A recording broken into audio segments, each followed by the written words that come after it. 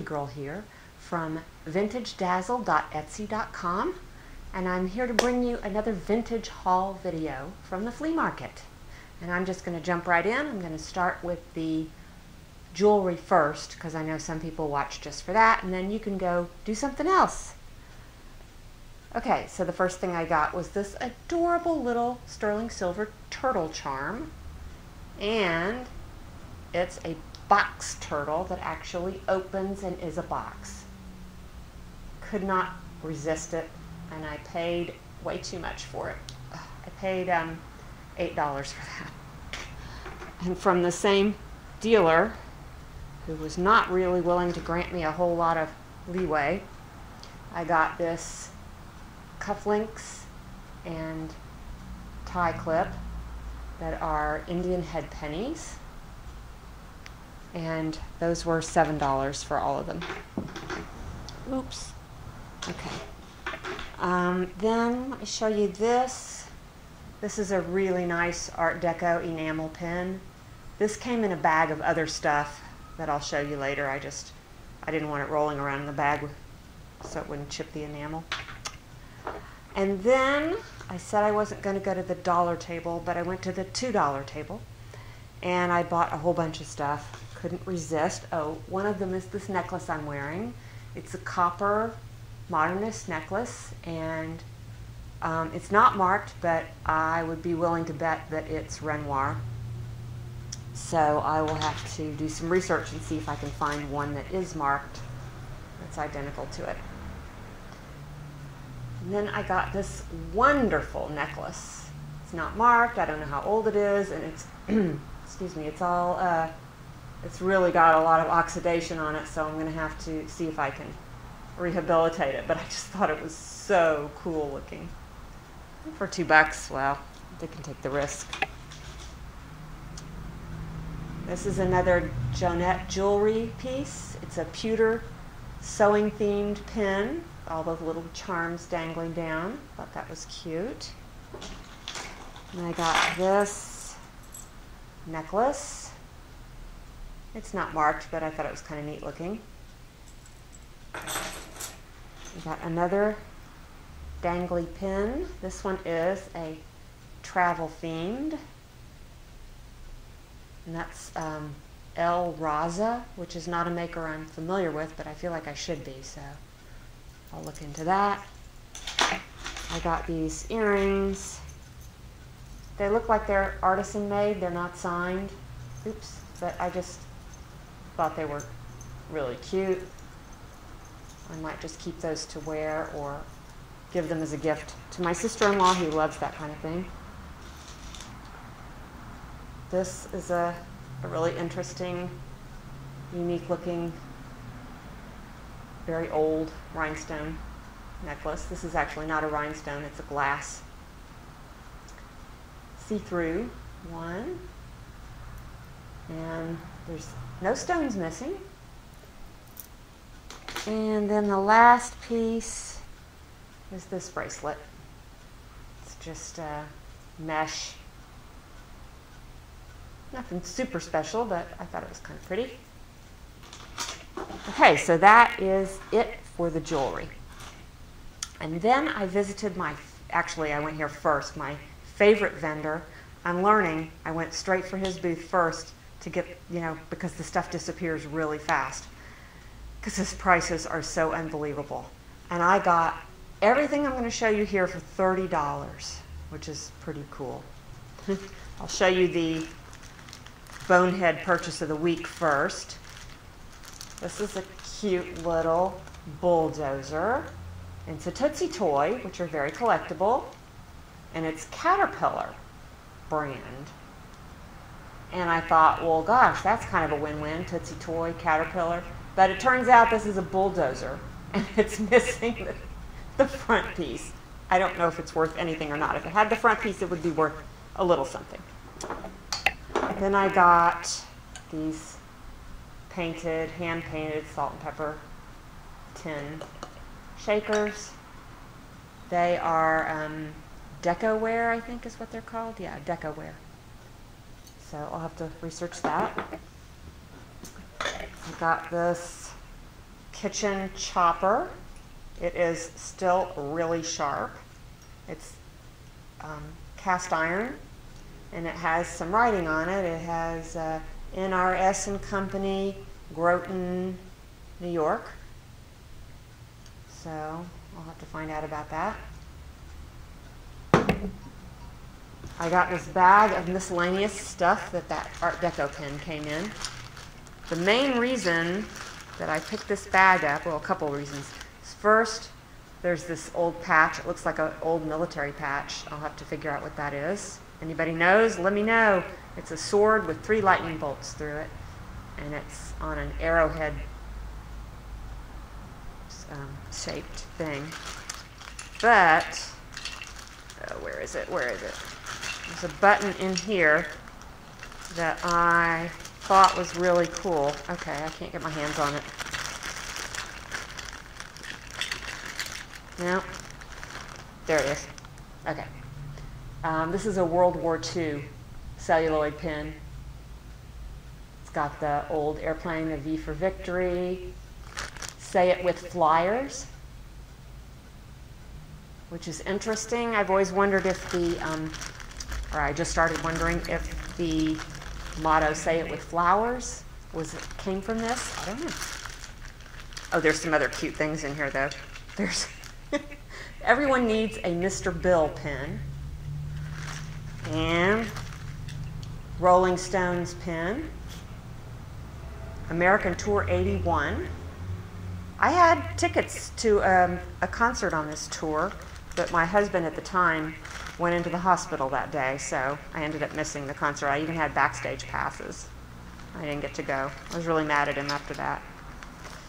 So Marilyn Monroe, Andy Warhol pen. Um, oh, this I haven't looked this up yet, but this is Dirt Diggers um, Motorcycle Club pin. It looks really old and it could be something. And I don't know what that is. Anybody knows, let me know. But anyway, a bunch of fun stuff. I got this copper item, copper and brass. It looks really old. I don't even know what it is. It's got Mm, no, it's not writing. It's got some stamping, and it looks like it's got some uh, writing in a foreign language. Just thought it was cool. Got a couple of vintage postcard booklets. This one is from the World's Fair, 1939 and 40 is what it says. And this is uh, Gibraltar. This is probably from the 1920s. I Got this um, puzzle. Oops. It's got these numbers. And you just rearrange it in different patterns. It's got the instructions with it. It's called the 15 puzzle. I got this wooden humidor, which I just thought was so pretty. It's two different kinds of wood and a striped pattern. It's got some kind of like music paper inside it. I don't know, it looks old. It's unfortunately got a crack, but I think it's still pretty neat. I got this crystal Orrefors in the original box. Looks like it's never been used. It's got the sticker on it still. And um, those I did look up. Those sell for good money. Um, what else we got?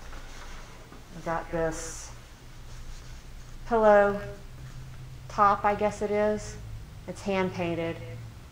And it's got, says something in French there. It's Les Petits Martins Pêcheurs des Andes. I'm not sure what that means, other than the bird part. But you know me and birds. Okay, that is everything I got from that one dealer. All that for $30. Pretty cool. I got this bell. Oops.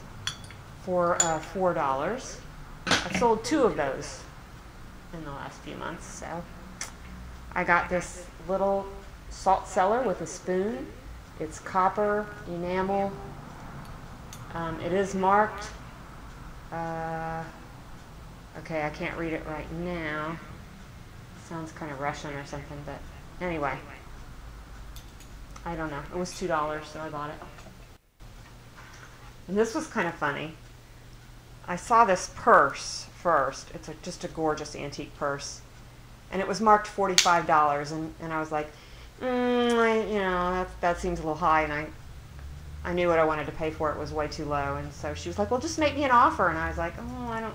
She goes, just, just tell me. And I said, well, $25. And she said, oh, I don't think I can do it for that. And I said, that, that's cool, no problem. And I picked this up also, and this was marked $10. And so I, I think it's silver. I haven't tested it yet, but it's really heavy, and I think it's silver. Uh, and I asked her, it's marked 10. I asked her if she would take seven. And again, she said, no, I don't think I can do that. And I said, okay. And she says, but I'll tell you what, I'll take 30 for the purse and the pin, which was less than I had offered. So I was like, okay. Then I got this. This, I think, is really old. It's got something stamped right there. It's, but it's really worn and I can't read it. This is a um, skin, I forget what you call these. But anyway, I got that for $5. Old tambourines don't sell for very much, but they have to be pretty special. But I think this one might be a little bit special. I got this Irish linen dish towel with terriers on it.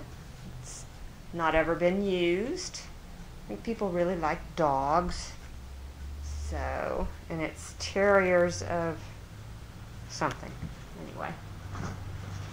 And then I got 12 Irish linen napkins for $8.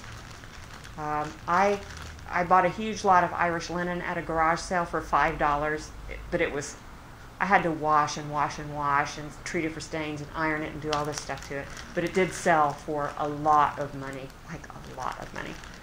So, um, and these, I took all these out and looked at them. They're real clean, no stains, really beautiful. So I'll do well with those. I got some Art Deco style buttons, really big honkers. I like the card with the train on it. I paid $8 for both cards. I got these little copper, copper? I don't know what they are. Oh, they're, um, I think they used to be silver plate maybe?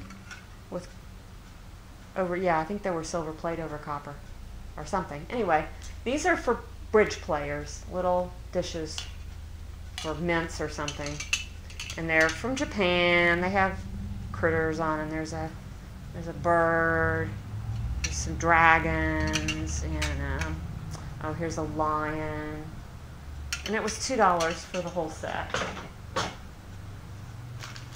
I got this handmade little box, I think possibly for drill bits. Really nice folk art type thing. I got a couple of pocket knives for $2 each. They're not in great shape. I may be able to clean them up some. Um, this one's nice. It has, a, I think it's an imperial knife. Uh, this is another cool tool. It's um, this slides along here, and it's got some.